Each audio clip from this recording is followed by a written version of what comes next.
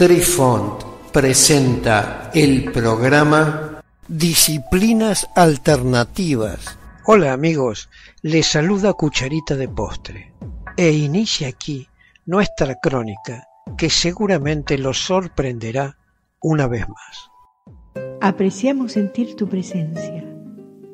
Comunícate con nosotros. Hazlo, Hazlo. vía Twitter en arroba trifón guion bajo media. Hola, soy Besitos de Sol. En el programa de hoy escucharemos El origen de la vida. Quinceava. Hipótesis de Aigan. A principios de los años 1970 se organizó una gran ofensiva al problema del origen de la vida, encabezada por un equipo de científicos reunidos en torno a Manfred Eigen, del Instituto Max Planck. La hipótesis de Eigen se configura a partir de la idea de que en un hiperciclo, el sistema de almacenamiento de información para la vida, posiblemente ARN, produce una enzima que cataliza la formación de otro sistema de información secuencial, hasta que el producto del último ayuda a la formación del primer sistema de información. Intentaron examinar los estados transitorios entre el caos molecular de una sopa prebiótica y los estados transitorios de un hiperciclo de replicación. Los sistemas macromoleculares autorreproductores simples. Con un tratamiento matemático, los hiperciclos pueden crear cuasi especies que a través de selección natural entraron en una forma de evolución darwiniana. Un impulso a la teoría del hiperciclo fue el descubrimiento de que el ARN, en ciertas circunstancias, se transforma en ribocimas, capaces de catalizar sus propias reacciones químicas. Los hiperciclos de Eigen la definición de la idea de hiperciclo en palabras del propio Eigen se resume en tres puntos. Punto 1. Los hiperciclos son un principio de la autoorganización natural, permitiendo una integración y evolución coherente, de un conjunto de entidades autorreplicantes acopladas de una manera funcional. Punto 2. Los hiperciclos son una nueva clase de redes de reacciones no lineales con propiedades únicas. Punto 3. Los hiperciclos son capaces de originarse en la distribución mutante, mediante la estabilización de los genes mutantes divergentes. Los hiperciclos, entonces, evolucionan en complejidad por un proceso análogo a la duplicación y especialización de genes. Para entender el marco de las investigaciones de Aigan, hay que conocer el momento en que se investiga el origen de la vida. Imaginando un ambiente donde las rocas, antes de solidificarse, eran sistemas biológicos vivos, basados en el hierro, el silicio y el carbono. Estas formaciones rocosas primigenias se originaron, se desarrollaron y finalmente colonizaron los mares del planeta, desde los primeros tiempos de la aparición de la vida. Glosario de términos. Manfred Eigen. Nació el 9 de mayo de 1927 en la ciudad de Bochum, situada en el estado alemán de Renania del Norte, Westfalia. En 1945 inició sus estudios de física y química en la Universidad de Gotinga, donde se doctoró en 1951. Actualmente es miembro de la Academia de Ciencias Francesa. Hiperciclos. Un hiperciclo puede servir para más de una función y entonces se denomina hiperciclo de grado enésimo. Un hiperciclo se forma cuando en un sistema aparecen dos o más cuasiespecies que presentan relaciones catalíticas entre sí. De tal modo que cada una es un catalizador del proceso de autorreplicación de las otras y viceversa. Cuasiespecies. La cuasiespecie presenta una dinámica de selección y evolución que conduce siempre a la selección del más apto. No pudiendo coexistir dos cuasiespecies en el mismo medio ya que una siempre desplazará a la otra y dominará la población. El origen de la vida. 16 Ava. Teoría de la playa radiactiva.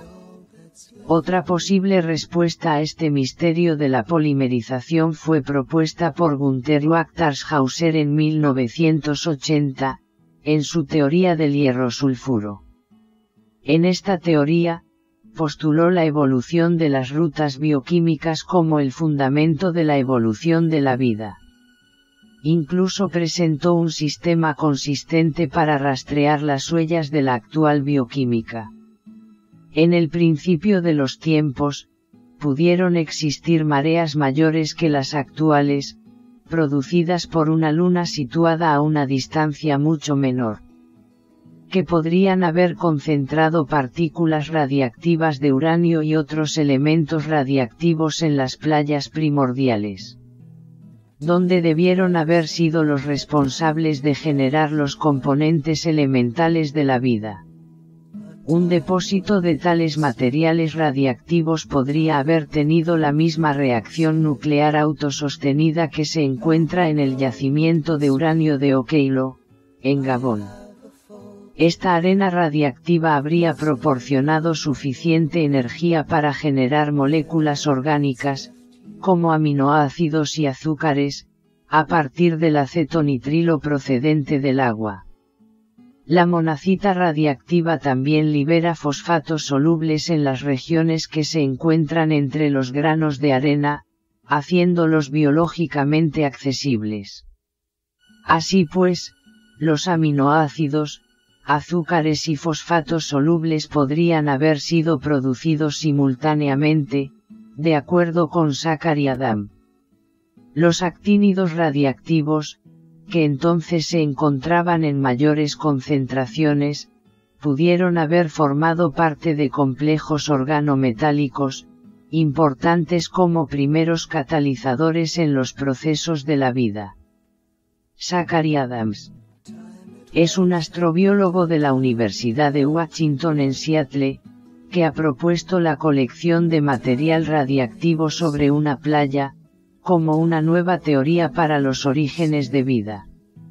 La vida aparece de una sopa primordial de productos químicos simples orgánicos, acumulados sobre la superficie de los cuerpos del agua, dentro de la temprana atmósfera rica en hidrógeno.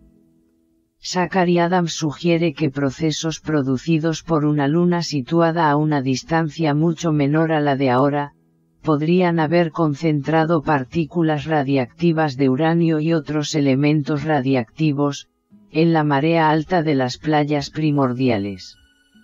Las que debieron haber sido las responsables de generar los componentes elementales de la vida. Glosario de términos. Conjunto autocatalítico. Un conjunto autocatalítico es una colección de entidades, donde cada una de estas puede ser creada catalíticamente, por otras entidades dentro del conjunto, de manera que el conjunto es capaz de catalizar su propia producción. Autoorganización y replicación. Si se considera, como a menudo sucede, que la autoorganización y autorreplicación son los procesos principales que caracterizan a los sistemas vivos. Hay que decir que hay muchos tipos de moléculas abióticas que exhiben estas características en las condiciones adecuadas. Monacita. La monacita describe un grupo de varios fosfatos estrechamente relacionados, con una gama variable de varios elementos de tierras raras. La monacita de cerio, el miembro final rico en cerio, es con mucho el grupo mineral más común de esta serie, y representa la mayoría de los especímenes y ocurrencias conocidos. Queridos amigos, los esperamos en nuestro próximo encuentro con un nuevo artículo que estamos seguros será de vuestro interés. Un cálido abrazo para todos. Adiós. Apreciamos sentir tu presencia. Comunícate con nosotros. Hazlo, Hazlo. vía Twitter en arroba trifón-media. Este episodio lo encuentras en Anchor, Spotify y en tus plataformas favoritas. Hasta siempre amigos. Besitos de sol y cucharita de postre les dicen gracias por pensar.